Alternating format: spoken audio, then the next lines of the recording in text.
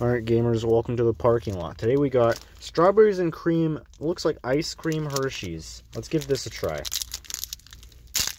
I like me some Hershey's. Cookies and cream is a banger.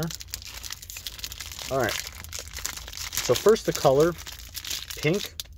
Oh, look at that shape. There it is. That's weird. Let's give it a taste test.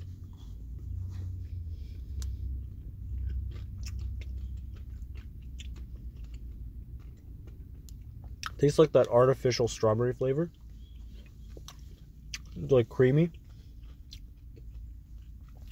It's got crunchy bits in it. Not bad. Anyway, that's a YouTube short experiment. Thanks for watching.